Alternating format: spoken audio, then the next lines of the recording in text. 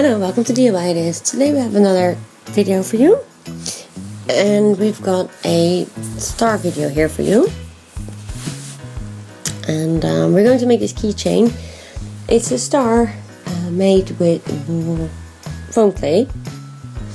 And we need two different colors foam clay. I've got purple and green. And I've got yeah, a star shape here with a chain that's what we're going to connect the bunch with. And I've got some plastic uh, bags here. And I've cut one side open uh, so that way we can kind of expand it in the width so we can work on that as a worktop. So I'm going to take a few colors. No, both, sorry, a little bit of both of the colors and then I'm gonna place the plastic over it. I'm gonna flatten it.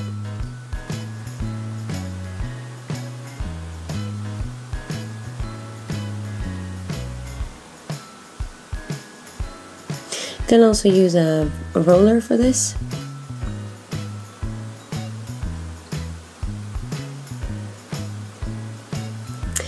And um, yeah the good thing about this is because it won't stick so the plastic which is handy.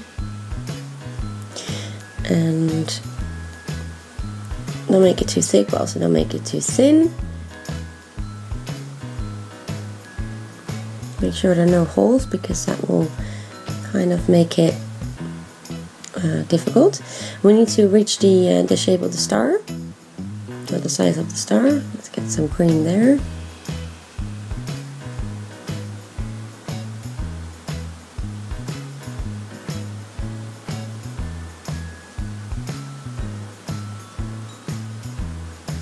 and then it's all flattened we're grabbing our star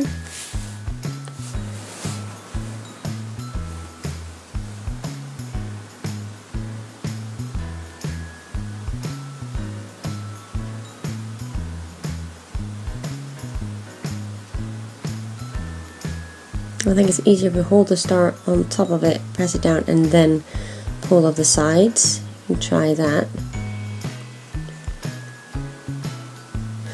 And all the excess we're getting rid of because we don't need that.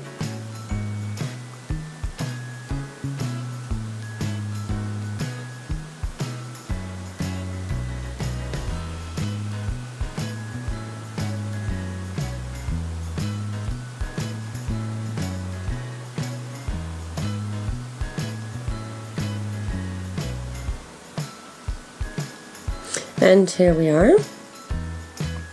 That's our big star.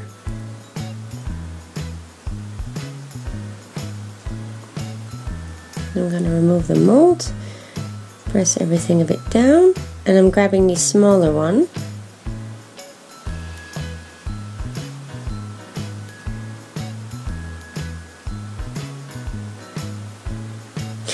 And there we are, that's basically our mold. It just now needs to dry. I think it looks great. Uh, one to three days we need to let it dry. And the leftover you can also use for something. Um, also, you can just grab the, the colors separately.